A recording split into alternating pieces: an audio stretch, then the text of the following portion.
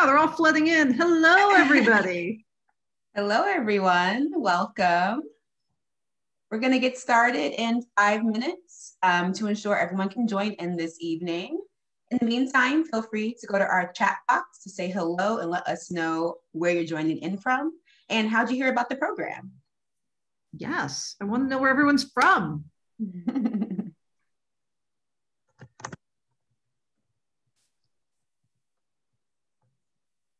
think everyone's getting settled. Yeah, silence. Yeah. Well, how are also- you guys doing tonight? How are you, Jodi? I'm good. Um, I want to remind our pe- our people out there who want to chat that uh, you should set your chat to panelists and attendees, which is that little blue choice bar at the bottom of the chat screen. Yes. That's a I'm sure reminder. Kendra would have told you that already. But I, wasn't, I wasn't going to, but thank you, Jodi. Yeah, when I do events and I don't tell people that, it just looks like I'm talking to myself. If I like answer a question, but no one else can see the question, they're just like, what? Hmm. Where'd that thing from left field come from? Yes, Oh. welcome everyone. Feel So free to go nice to to- our chat box to say hello and let us know where you're joining in from. I'm joining in from Brooklyn, New York. Ooh. Wait, Jodi, where are you? I'm in Queens. Ooh, I am on the Upper East Side. We've got three boroughs. Nice. Wow. I haven't been to the Upper East Side in a while. Uh, nobody has. It's a it's a dead zone. um, it's like me and like the ghost of a stroller. we'll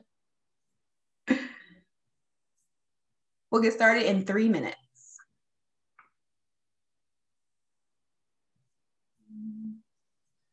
What's everyone having for dinner? Right. The chat is Um, super quiet. I wonder if I there's know. I wonder if have there's a- something wrong. We usually have a very active chat when when in our talks. So I'm I'm surprised no one talk people. Please talk. We want to hear from you. I guess it's, it's, it's a quiet, um, A contemplative group. right, right. Um, huh. It might be that they are not allowed to talk. Hmm. I don't know. Hmm.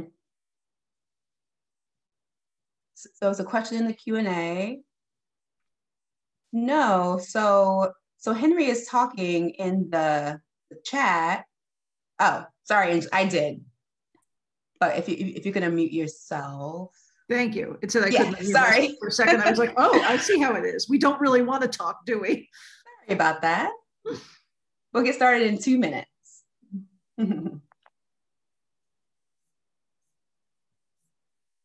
Hmm. I see Salvador has put something in the chat, but I'm not sure if anyone else can. Somebody put, a- Mhm, put the word test in the chat who isn't a member of staff. mhm. Anyone, be brave. Let's see. I'm gonna guess that means that the chat is not functional. It is functioning because I made it so, but it is okay. Oh, we got it. I see it for West Oh. Side. Oh, Yay! Thank you, Kate. I was getting so worried. Toronto. Yes, I'm so glad to see everybody. Awesome. Yay. Sorry about that, everyone. We'll get started in one minute. Brazil. Wow. Sometimes we get people from Japan. That's, yeah. that's a time difference I don't even want to think about. Philippe is one of our regulars from Brazil. Yes. Awesome. Yeah. Texas, Stuytown, Staten Island, Montana. I see a lot of familiar names. Hello. yes. Oh, Excited to have you all here. oh, yes. Atlanta. Hello, everybody. Yeah. Awesome. All right, we'll get, we'll get started in just a minute.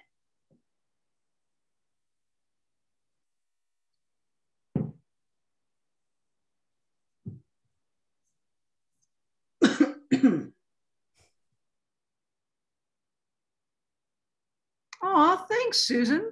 I, I too enjoy my Instagram videos. Please email my boss and tell her you want me to do more. Do you even have time to do more? You seem Oh, like yeah, you're doing I- them all the time. I, I do them every day. I, I as of three days ago, we ran out of material. I have more. I can film more. My my my um, cameraman uh, is currently on assignment elsewhere, so he will return at some point, and then we wait. We can begin again. Um, awesome. All right. Well, let's get started. Good evening, everyone. My name is Kendra, and I'm the Public Programs Manager at the New York Transit Museum. This program is part of Transit After Hours, which is a series of conversations, presentations, workshops, and performances inspired by Transit Museum's collections and exhibitions. So before I introduce our presenters and start this evening's program, I want to tell you a bit about the Transit Museum in case you haven't visited us before. So let me go ahead and share my screen. All right. All right, can you all see that? Okay, so we opened in 1976 as part of the bicentennial as a New York City Transit exhibition, and we became a um, New York Transit Museum in, in the 1980s. We're located in a decommissioned IND subway station in downtown Brooklyn, and we also have a gallery and shop in Grand Central Terminal. We have programs for all ages, and in the non-pandemic year, we serve over half a million visitors a year. So I'm gonna go ahead and stop my share. And I'd also like to add that if you if you want to use closed caption this evening and you're on a computer, you can click the CC button at the bottom of your screen and click on show subtitle. And if you're on a phone or tablet, you can turn on captioning by clicking more and then meeting settings. Um, additionally, we invite you to use the Q&A function um, at the bottom of your screen to ask questions about the program. And now I'll introduce our presenters. So our first presenter is our associate curator, Jodi Shapiro. Jodi is a lifelong New Yorker, and she has been working at the Transit Museum since May of 2014. Prior to becoming associate curator, she worked at the museum's archive with all the cool photos. She's curated shows about the Second Avenue subway, the IRT Flushing line, the Redbird fleet of subway cars, and the Polis brothers. She holds a master's in library science, has way too many cameras, and fears her enormous LP collection will be the death of her someday. and last but not least, Angelina Lippert is the chief curator of Poster House in New York City, the first museum in the US dedicated to the impact and history of the poster. She holds an MA in the arts of Russian avant-garde from Courtauld in London and a BA in theology and art history from Smith College. She is the author of Art Deco poster and has lectured as, at SVA, the Cooper Union, Columbia University, and Sotheby's. She is a contributing writer to the Muse by the Clio Awards, where she focuses on history of advertising design and is an editor for Vintage Poster magazine. And now here's Angelina. Hi, everyone. Um, as they mentioned, I'm Angelina Lippert, the chief curator of Poster House in New York, um, which is the first and only museum dedicated to posters in the United States. So I'm going to be giving you tonight a brief history of the public service announcement and how they've evolved over the past 150 years, primarily in the United States. I'll be giving some examples from other countries, but the US tended to have a more dynamic history of PSAs, so that's what I'll be focusing on for most of my talk. And while I'm talking, if you have questions in the chat or in the Q&A section, Jodi is going to rudely interrupt me, talk over me, and get me to answer your questions. So I will be answering as you throw them at me, um, but I will not personally be able to see the chat while that's happening. So now I'm going to share my screen and get on with the show. Jodi, can you see my first slide? Yes, I can. Amazing. All right. Obviously, so you see, you see our lovely poster house logo designed by Paula Scher. So now, before we delve into the specific branch of poster history that is PSAs, I want to give you an idea of how posters were born in the 1800s so that we're all on the same page regarding what a poster is and what a poster isn't. So before the 1860s, advertising around the world was limited to broadsides, which are text based announcements primarily printed in black or brown, like these. Occasionally, there would be a tip on, which is a separately printed piece of paper with an image on it, normally a woodblock image. So, if you were selling shoes, you might have a very simple image of a shoe pasted into an open area on the paper. Or in this case, a woodblock recruitment poster where the image is actually a hand carved design treated as raised type. Now, The problem with broadsides is that they require that their audience be literate, which is really not something you can presume of all classes at the end of the 1800s in Europe. They're also pretty drab in color and they lacked any kind of dynamism. So, unless you were right up on them and a particular word caught your eye, they were pretty easy to ignore. Uh, this image is meant to show you how overbearing and word heavy most of these images were. You can see a few hints of what's to come. This image is actually a, a little later than the broadsides I showed you, but you get a sense of how boring text ads are en masse. Now then, in the 1860s, Jules Chéret, known today as the father of the poster, perfected the already developed method of stone lithography so that suddenly large scale color lithographs could be made cheaply and quickly. And thus, color advertising was born. Now, a lot of historians refer to this time period, so the 1870s, 80s, and 90s, as the color explosion, because that's exactly what it was. So now, whenever you walked down the street, you weren't confronted with rows and rows of drab text, but layer upon layer of colorful, brightly designed images jumping off the walls, sometimes three stories high. These pictures were so hard to ignore that some critics said things like these posters were assaulting their eyes, forcing them to look at busty women selling cigarettes and cabarets. But others saw this moment as a triumph for public art. Because if you were not wealthy, the only other place you would have seen color like this would have been in a church's stained glass. Museums were not yet a common activity for the middle and lower classes, and newspapers weren't printed in color. So imagine an entire demographic of society being exposed to big, beautiful design en masse for the first time. It's a, a revolutionary moment. So while advertising certainly existed prior to this period, it was either something you saw in a magazine or a newspaper, or that you came in contact with as a broadside or, or a printed notice on the street.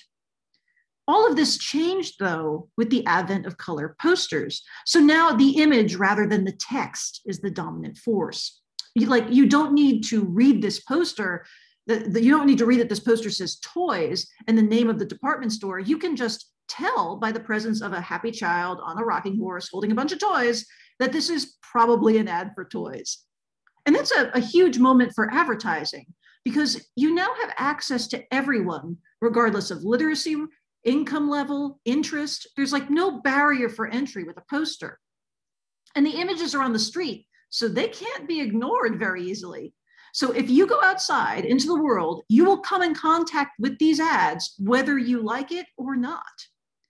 Now, interestingly, it took the government and other organizations interested in informing the public a while to tap into the fun functional use of posters.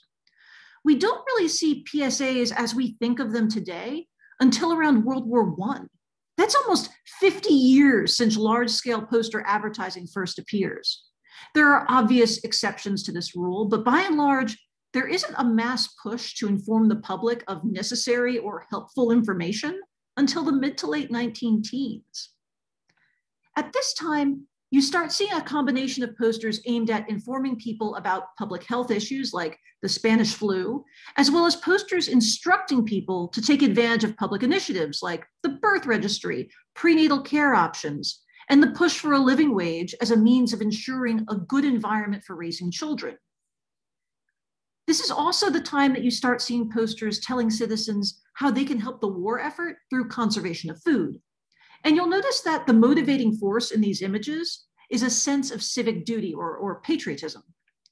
That by following these guidelines, you are proving yourself to be a quote, good American.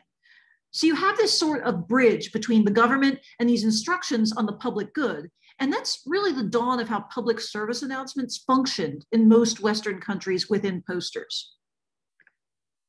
Then in the 1930s, FDR's WPA created thousands of posters around New Deal initiatives, many of which are highlighted um, or highlighted issues of public health and work safety. And these were mostly created at a very local level and were predominantly silk screened rather than printed through lithography. So that means smaller runs, faster designs. You'll see in the margins of many of these posters that they, they indicate that they were done by certain groups. So for example, many of these were done by the city of Chicago, you can see in the upper margin of the poster on the left, um, others appear more state or nationally focused, like the safety goggles one on the right, aimed presumably at all of Illinois. Or this one, which is essentially promoting health, the health benefits for a baby via its mother's breast milk.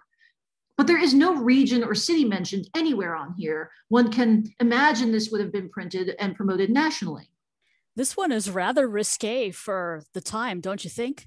Um, a little bit, but remember the 30s had a lot of like naked ladies in murals, so this isn't really that risque. And also, our, all of our World War One advertising were like half naked women embodying Columbia or the Statue of Liberty, like rushing into battle. So the the the idea of the the mother child, like it's also a very like Christian image, um, was was was a standard motif in posters. I never thought about it that way. I just I see a poster like this and I think of people getting uncomfortable that women are breastfeeding their kids. You know? Yeah. No, I mean it's it's interesting that like we have such a. I know there's always a debate about nursing in public now, whereas something like this would have been like, Meh, yeah. Any questions in the chat yet, Jodi? Not yet. Okay. You're thrilling them with all these facts. Oh, really? Hold. On, let me get some water. Mm. Okay, so by the time we entered World War II, poster PSA messaging shifted toward how you, as a non enlisted citizen, can help the country and your community. So posters about carpooling to save resources become commonplace. And, and here they're, they're saying you're helping Hitler win if you don't ride share. We also see posters like this instructing women to save cans for ammunition or kitchen grease for explosives. You'll also notice that the line between a public service announcement and propaganda is a little blurred at this period in time. And that's something you'd find anywhere where notices from the government will almost always reflect the political as well as the social priorities of whomever's in power. So here, patriotism during the war effort is the good feeling you're supposed to have while following through on this public message or instruction. Now, going from civilian life into the world of the military, PSAs also found their way into army barracks, where we see a ton of images instructing soldiers on matters of sexual health. It's often asked why there are so many STD posters from World War II, almost all of which would have been aimed internally to people in the army rather than like random civilians on the street or in a bar. And the answer is pretty interesting. So during World War I, at, every, at any given time, uh, 15% of US troops were unable to fight because they were being treated for STDs, most of which they got while sleeping with like good time girls abroad. In fact, there's a quote somewhere where Woodrow Wilson says that if we had come up with a way to cure VD, we could have gotten out of the war a year earlier. So during World War II, we wanted to make sure that we were not losing troops to preventable diseases. So posters like this were widespread within all branches of the military. But like I mentioned earlier, these posters promote positive public health, of course, but the reason is because the military wants to have as many soldiers fighting for it at any given time. So again, that tension between like the public good versus what's good for the government at that time. Now, because STDs were still a thing, even with all that messaging, posters like this showed up after the war in doctors' offices, telling returning soldiers to get checked before sleeping with their new bride because we want healthy citizens and our birth rate's like about to go through the roof. Now, similar signage starts appearing in the subways, like this poster from the Transit Museum's collection. At the top, you'll notice that 1948 has been written in pencil. Jodi, I'm, I'm presuming this was done by an archivist at some point, correct? Um, actually, no. Um, this oh. is handwritten notes by uh, Amelia Opdyke Jones herself. Uh, oh, wow this is a gouache painting from our archives. We have a bunch of her original artwork that was made into something oh, cool. called the Subway Sun. Um, I don't. Uh, Amelia Opdyke Jones was also known as Oppie. Uh, mm-hmm. She lived from 1913 to 1993, and uh, she crafted the Subway Sun campaign from the mid 1940s until the mid 1960s. Uh, we have some more of her stuff in the slideshow, I think. So oh, I can tell you, of, I can tell you a little bit more about her as we see more Subway Sun. Things. Well, one thing that I was actually going to bring up because I, I, at first I was like, I love how this doctor's dressed like George Washington, but then as I looked at other people in the other figures in the in the Oppie posters, this figure shows up again and again. Yeah, uh, that, like that's Paul Revere or who is he? Uh, that is Father Nick, Father Knickerbocker. Knickerbocker. Uh, so uh, he appears as Dr. Knicker- Knickerbocker in this ad. Um, he is in several posters uh, promoting Pennsy, and he's shaking hands with like the Pennsy guy.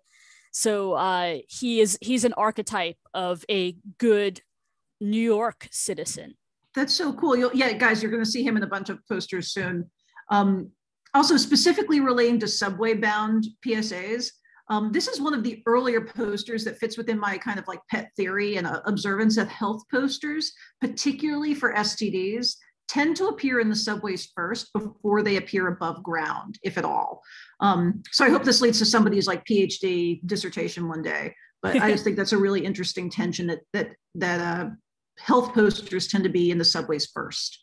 Well, I mean, I my my armchair hypothesis about that mm-hmm. is just because uh, when when these posters appeared in the subway in the mid 40s, um, ridership was getting to be at an all time high. So I guess they figured that they had the eyes to see these important messages. Yeah. Also, from a total poster nerd type historian kind of view, on the right hand side, where right above the word social hygiene at the very bottom, the O in worth is capitalized, but the rest isn't. Yeah. I find I, I I'm just like, oh, that's interesting. The old phone exchange. Yeah, exactly. Um, all right. Well, is that where I'm going to? Yes, yes, yes. Haha. Um, so while all this is happening, there was also a very effective campaign in Europe and America during World War II about being careful of what you say. So if you wrote your wife that you were heading into battle on a specific date or in a specific location, that could be intercepted and result in your entire platoon being killed. Where, or, or if you said something in your local bar about what your friend in the army told you, someone spying for the enemy could hear it like even the girl you pick up for a one night stand could be working for the other side. So this concept of leaking information was a real threat since the element of surprise would win the war essentially. So posters like this indicating those dramatic consequences became incredibly commonplace.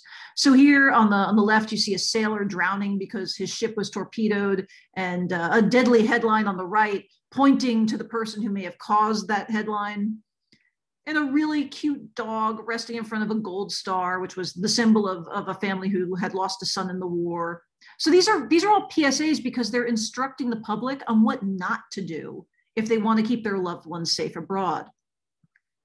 Now, PSAs continued to be prevalent in most countries through the 40s, 50s, 60s, especially as science started really emphasizing the need for mass public health action. So this is how we stopped tuberculosis, polio, major diseases that we don't really even think of today. And part of eradicating them was educating the public. And that's really what PSAs are at their best. It is a means of educating the public en masse. It goes back to the idea of not having to make people seek information out, but just being presented with it in a way that they can't ignore. So the new Transit Authority also amped up their public health notifications um, telling us not to spit or cough or sneeze without covering our mouths. Um, Jodi, perhaps you could tell us a bit more about the Subway Sun now, how long it functioned in the subways, how it started as an initiative. I personally sure. love like the rich purple of this poster, and then it yeah. tells us to like cover our face, but also to seek medical attention. Yeah, well, um, the Subway Sun was launched in 1918. Um, mm-hmm. it was it, and it was a, there was a sister publication to it called um, called the uh, Elevated Express, uh, mm-hmm. because at that time, not all of the not all the lines that we know as the subway of today were all underground. Some of them were elevated. Uh, I mean, mm-hmm. some are still elevated, but they were run by elevated companies, yeah. like the BMT. This was before unification in 1940. Uh, so the posters enabled uh, the IRT and the BMT to address their customers directly in kind of an un- informal way and uh, often amusing.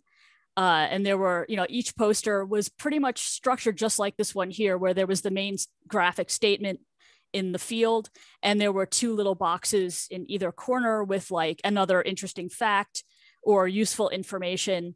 Um, and these these posters, the Subway Sun and the Elevated Express, uh, were aiming to personalize the company to give it kind of a human face.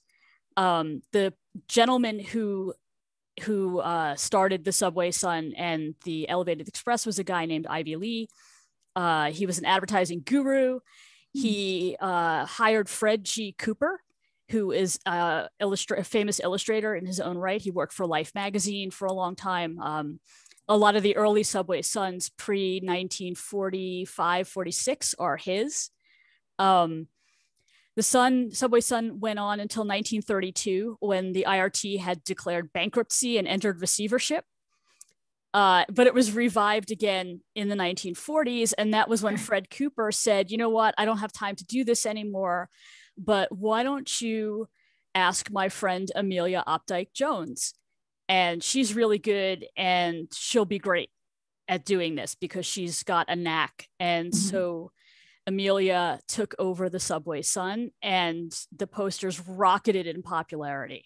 Um, so and you can kind of see why. Uh, oh, yeah, they're great did she did she so she drew them did she do all the type the lettering and the graphics as well she did um, when i said before that she crafted the subway sun campaign i mean just that um, even though she worked for the for, first the board of transportation and then the new york city transit authority because the agency changes its name over her tenure um, she came up with the ideas for the poster. She sketched them out. She she uh, figured out the language, and she did all of the execution. Uh, she had a little bit of guidance from her bosses, but not that much, uh, and that kind of got her a lot of attention uh, with some of her more controversial posters that showed like women hitting men with their purses because they're standing in uh, the doorway of the of the subway. Um, People you gotta do what you gotta do. yeah. Well, people did not realize that Oppie, which is her pen name, and you can kind of see it in the lower left-hand corner. Yeah. It's Oppie. Um, yeah. People did not realize that Oppie was a woman. So some of the complaint letters that the authority would get would be, you know, this gentleman shouldn't encourage women to hit men with their purses. and so uh, eventually uh, Oppie was outed as a female, um, which is pretty badass. I mean, yeah, you know, her sense of humor is is really it's a very light touch. Um, and you'll see later on when you I know you have some more posters from yeah. her. Um, her economy of line when drawing these figures oh, is really expressive. Uh, so you know that well, kind it of seems to come out of like the comic book style almost yeah i mean you know she did she did do single panel comics before she worked for the transit authority. She had a comic called the young idea idea idea with an r. And it was uh it was syndicated by king features. It was one of the earliest syndicated comics in the united states. Oh, wow. so she has this rich background in graphic representation of story ideas. Huh and actually, if I go back, wait, nope. If I go back, the so the one that we were just looking at under Subway Sun, you'll see like New York City Transit Authority, and then it'll say like number eleven and, and which volume it is. Did these all have seasons? Like this they, is number one, volume twenty one. It's it's hard for us to determine exactly how many of these were were made. Um, mm-hmm. The volume numbers and the volume numbers seem to switch so we can date them to in the best cases, the actual year that they appeared in. Mm-hmm. I believe this one is from 1948 um, by the volume number because there's some documentation in internal communications uh, that say, oh, you know, Subway Sun volume 22 starts today, you know, starts this month. Uh, they sometimes did two or three Subway Suns in a month, sometimes one, sometimes four. So that kind of throws it off a oh, little wow. bit. Okay, um, so they were regularly published. They were regularly published. Uh, there was at least one every month. Um, okay. So it's you know it's kind of it's kind of difficult even for us to figure it out. Um, we do have something of a key uh, uh, inventory now that we're starting to pour over and match with what we have in our collection.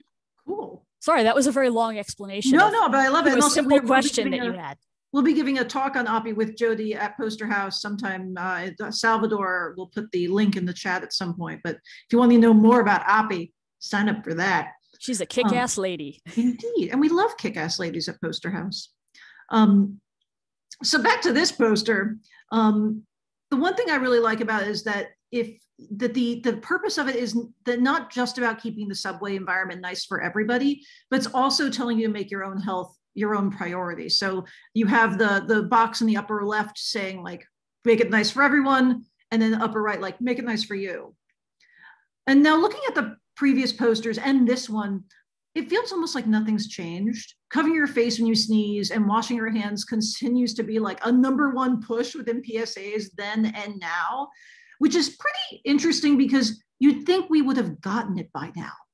Um, it's also interesting to think of where PSAs are placed and who their audience is at any given time.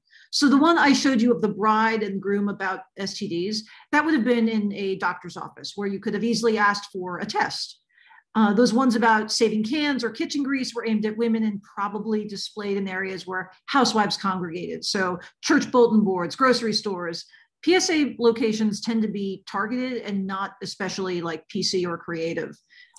Actually, uh, we have a question in the chat that uh, dovetails very nicely with what you just said. Okay, um, I will go back. Somebody wants to know if there were any complaints from the powers that be that uh, these public service announcement posters took up space from paid advertising. No, because that that, that I mean, up until actually, I, I don't know about advertising today with public health. Actually, no because we uh, my talk ends with the posters we did for around the pandemic. Advertisers when there's a good cause will often donate space for public health initiatives um, or the or uh, the government will purchase that space. So it's not it, it's not really necessarily taking away from advertising dollars um, also, like if this is put up in a church, like that's not really taking. No, Coca Cola is not advertising in the church. Um, like it's, not, it's they're not necessarily in those spaces that you would. They're not in like official advertising like hordes necessarily. They can be, but they aren't always there. Interesting. Indeed. Um, so moving on.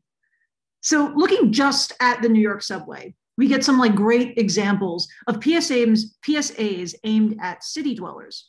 So most of which are created by a woman who, as Jodi pointed out, went by the name of Oppie and who created the Subway Sun series, which was essentially a collection of these like amazing comic-like images that appeared above the seats in subway cars and informed riders in an appealing way about various public services, opportunities, or requests. So, as Jodi said, these thrived in the 50s and 60s, so much so that tra- the Transit Museum recently did a show of them right didn't you there wasn't there a, a, a, show you did recently on on these posters? There was a show uh, about transit etiquette where yes. uh, these oppie posters were prominently featured in our grand central gallery. And uh, it's also a smaller version of it is in our uh, brooklyn location which is still not open to the public but soon i hope. Uh, and there's father knickerbocker again yeah, I actually New Yorkers to wake up.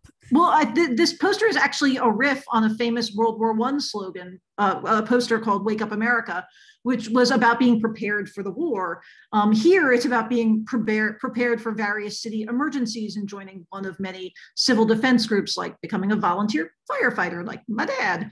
Um, the Subway Sun also aimed to inform subway goers about nutrition, how, how wholesome it's interesting that earlier examples of the Sun haven't um, have it sponsored by the New York Transit Authority, but now it's the Board of Transportation in conjunction with the Department of Health. The, yeah, the Board of Transport. The Board of Transportation was in existence before the New York City Transit Authority. Um, mm-hmm. After unification, there were a couple of years where it was sort of unclear, you know, like who was going to run what, and the Board of Transportation ended up being the New York City Transit Authority, which today is part of the MTA, but they the Transit Authority is responsible for running the buses and the subways. Got it. So both, so you'll see both of them listed as essentially. Yeah, the earlier posters will be Board of Transportation, and the later ones will have New York oh. City Transit Authority. Love it. Um, the 1960s saw uh, a new addition to subway PSAs with the introduction of Etty the cat. Yes, Everyone loves etiquette. Etiquette. We get we get more questions about etiquette uh, than pretty much anything else, oh. uh, except like why there is no X train or no Y train, like those sorts of questions. Uh, Etti-Cat is awesome. I love uh, etiquette. He, he was only around uh, for a short while. He was introduced in 1962, and yes, another kick-ass lady uh, oh, named oh, really? Jo Mary McCormick Sakurai. She created it. Uh, this is her cat. Uh, his name was Pipsqueak. and the initial run of the Etti-Cat posters were in 3,000 subway cars. So that was about half the fleet at the time. Oh wow! Uh, the and the Transit Museum has a collection of only a couple of them, um, but Etti-Cat was also the star of his own book about etiquette. Is it sold uh, in your fabulous gift shop? It's not. Um, we're trying to get one for our collection because it's way, way out of print. But oh. um, everybody loved Pipsqueak. Uh, apparently, there was a press conference where the press could ask questions of Pipsqueak. I, uh, I would want to know. Yeah, I, I would love to know what Pipsqueak, you know, is thinking. He was like he was like the Groundhog Day groundhog, like uh maybe. Yeah, I don't know. Maybe they brought him out like you know and showed him around. I'm, I'm visual. I'm like making a gesture and nobody could see me. Um, somebody in the chat, like this. somebody in the chat commented about the please, sorry, thanks uh, token yes. icon. Uh, that was all. That was uh, a holdover from Amelia Opdykes Jones um, that appeared in a bunch of her '60s uh, posters. Well, um, didn't she also do the text in this poster? I, you know, I can't say for sure, but I've looking at at so many of her posters that we have in our collection mm-hmm. it really looks like her lettering. So I feel I feel comfortable saying that there's a strong possibility that she did it. She still was working for the transit authority at this point.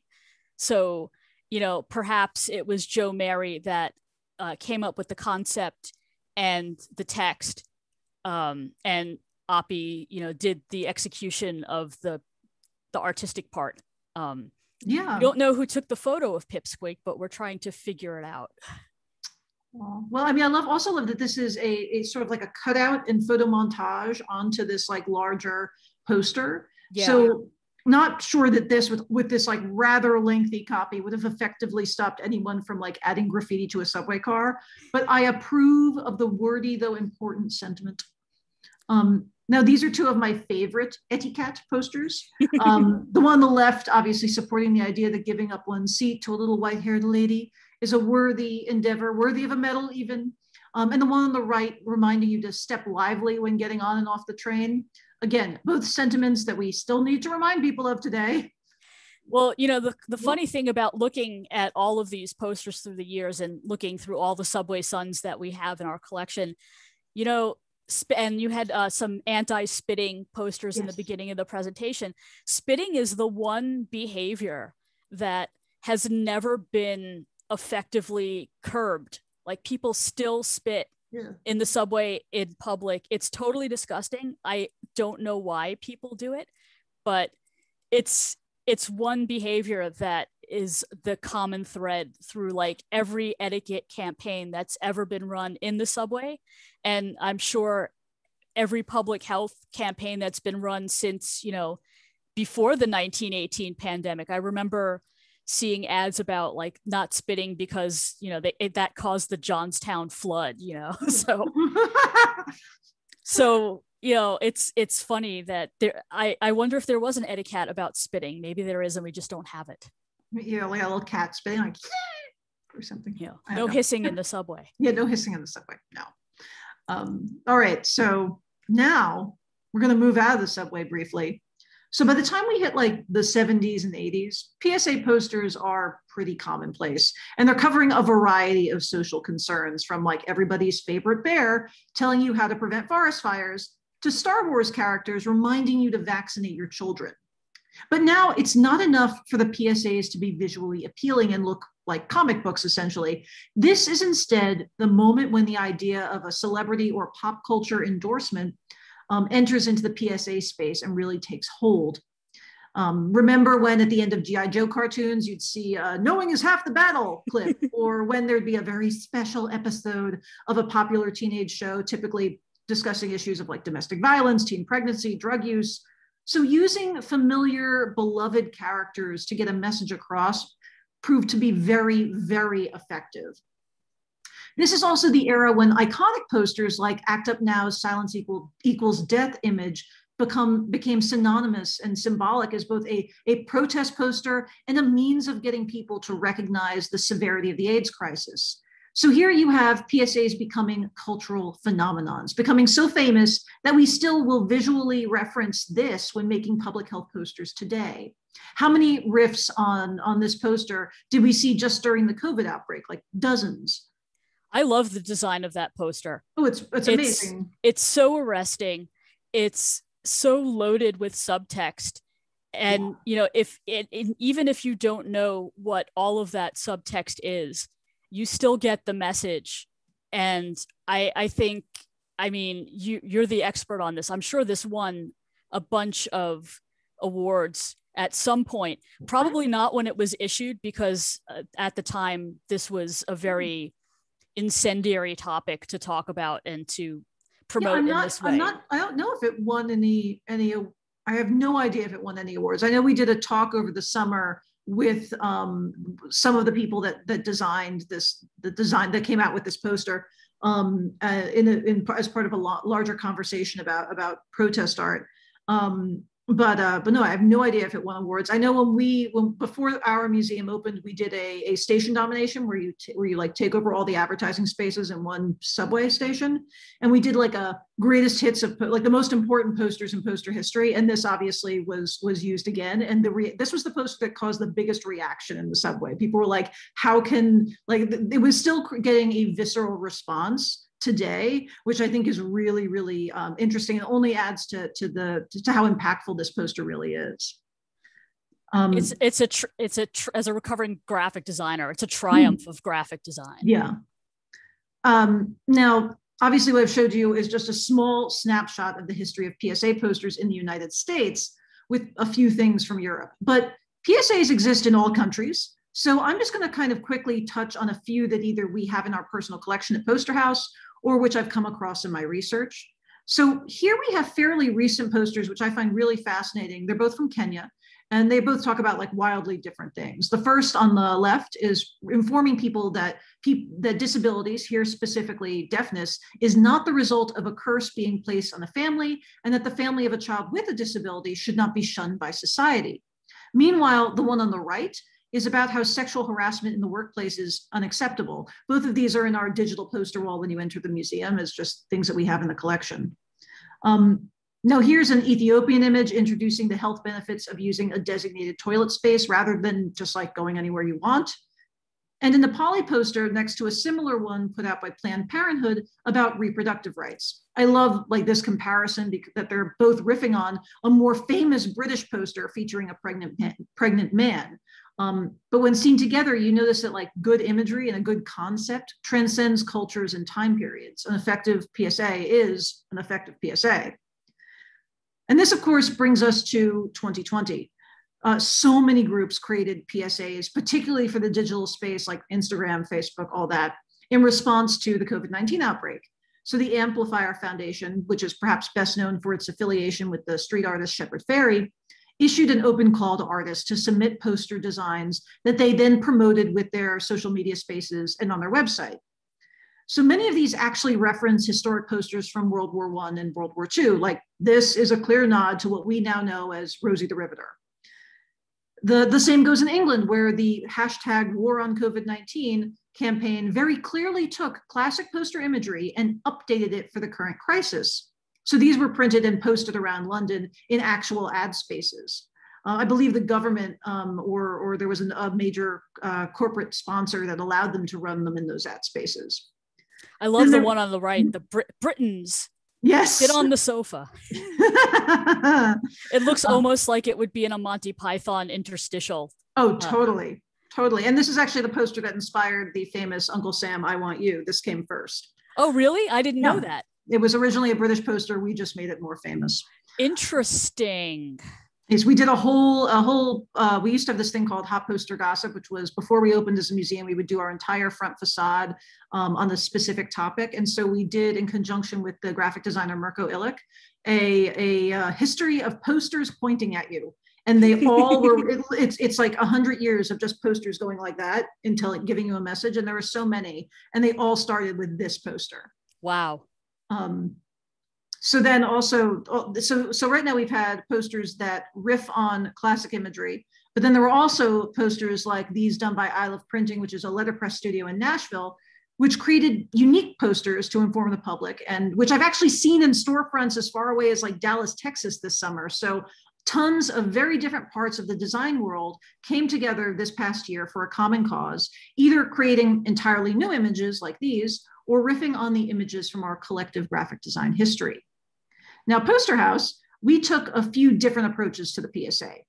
We first asked the designer Rachel Gingrich to create a set of digital PSAs for us to use when we heard about the shocking and incredibly disturbing treatment of Asian Americans as a result of the misconception that they were responsible for the disease. Then this led to our in-house designer, Mahoshi Fukushima Clark, to design her own PSAs. Now, both of these were available for download on our website. And, and yes, they are technically not posters because they were never printed or street facing, but a graphic can also be a PSA.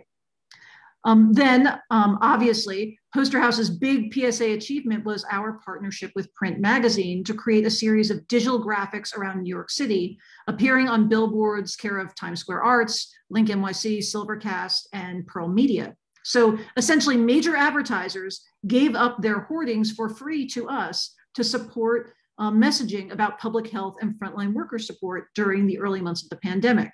And we got some of the biggest names in graphic design to contribute to this project, from Edel Rodriguez to Paula Scher. And no design has the same exact message. So some are meant to give hope to the community, some instruction on how to properly social distance, others to thank essential workers for their sacrifices. Um, and these also appeared partially in the subway. So they, they, they bridge the gap between the above and the below ground space.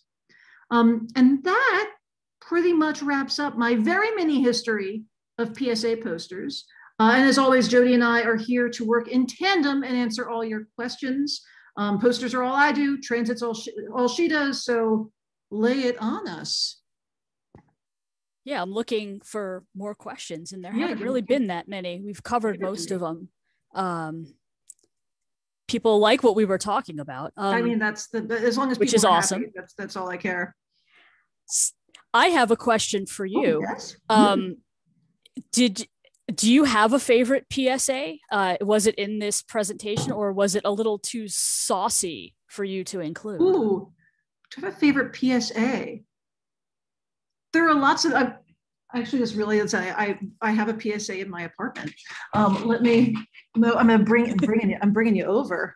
Look at, look at this one. I have to move a plant, but it says, sir, don't waste food while you're wife saves, adopt the doctrine of the clean plate. Oh wow! Do your share, and that was That's done by great. the U.S. Food and the U.S. Food Administration. Um, I love that poster. I, I, got it from a friend of mine because uh, I believe in I believe in the clean plate doctrine at my house. We must all eat everything. Yes, I I subscribe to that belief as well. Yes. Also, you just had me move a plant. Um, Sorry.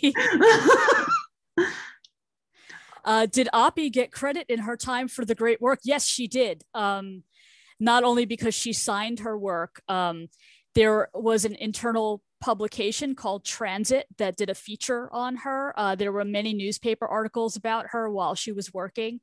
Um, she was a very uh, attractive lady, so most of the photos that went with these uh, profiles of her had her you know, sitting with her legs crossed in a very ladylike way. Her hair was perfectly coiffed, you know, and they almost always had her standing next to somebody who was part of the train crew like wearing you know wearing like the old school uniform and like looking kind of grungy which i thought was really hilarious um so yeah she did get credit and uh when she when she died she got a nice new york times obit also. Oh, nice. She died the same day Swifty Lazar did. I, will never when I was doing the, when I was uh, getting the getting uh, the research together uh, for our big collection that we have of her work. Uh, I found the obituary and I'm like, oh, Swifty Lazar and oh. Died on the same day. Oh, useful. I see someone asked if, if Poster House is a brick and mortar museum. We are. We're at 119 West 23rd Street, open Thursdays through Sundays. Ooh, and we're all posters all the time. So we all posters three, all the time. We have three post three. Yes, three poster shows up right now, plus a permanent poster collection. Uh, for those of you who are New Yorkers, like diehard New Yorkers, they are located in the old Tekserve space. We are. Um, There's a question in the Q and A uh, that says, "Do you have any suggestions for how to make more effective poster style PSAs for the COVID era? I've seen many at work and in stores that are not great." Well, I mean, that's just that that would be the same suggestion across the board for any any graphic.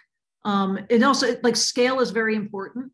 Um, keeping your text minimal is very important. Giving somebody a graphic to hold on to, like a set, like something that you go to first and then makes you read like the five words. Um, a poster is only effective if it gets your attention and conveys information is in under a second. If it takes longer than that, it's kind of failed.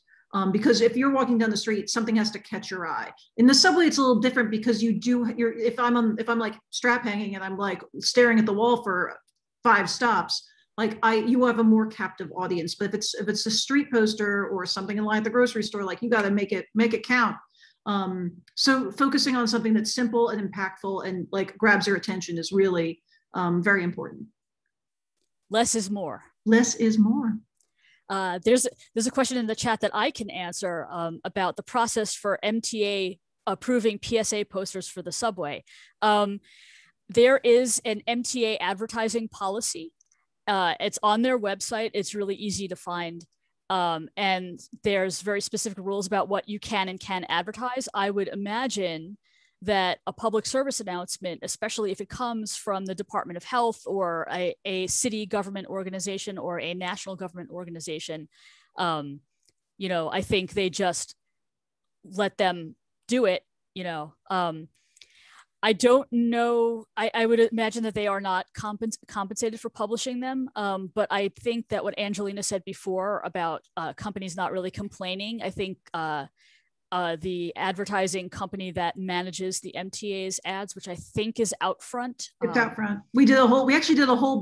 Did you ever? I don't know if we worked through you guys, but we did a whole interview with the guys that paste subway posters, the bill posters in the subway. Yeah, I remember a whole that. like day with him.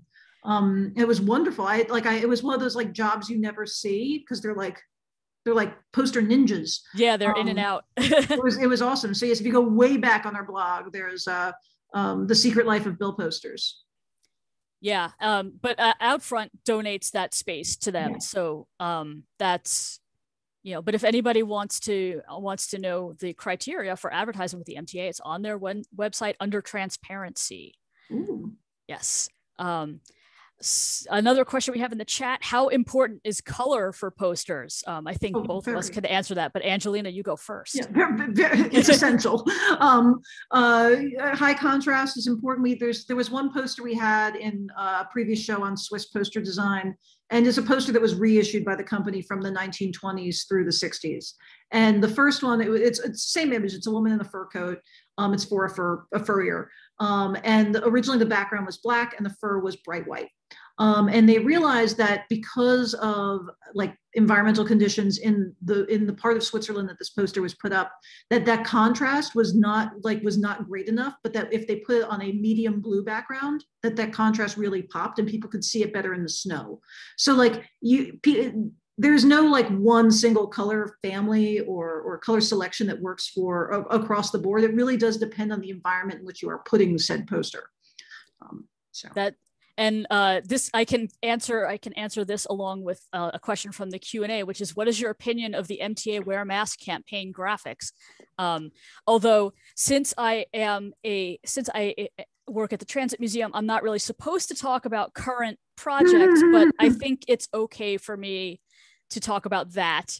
Um, so you were talking about color and those ads are pretty much two color ads. Well really one color because black doesn't always count as a color. It's yellow with black text. Yes. It's very simple uh, much like Oppie's economy of line. The figures in them are very economical and they are not you know they're identifiable as male and female but not really anything else. They're just generic people um, and they show you how to wear a mask uh, properly. And they are also in pretty much every language that the MTA oh, yeah. speaks. Um, and the MTA does speak more than 25 languages. I think the last count that I got was somewhere in the 40s.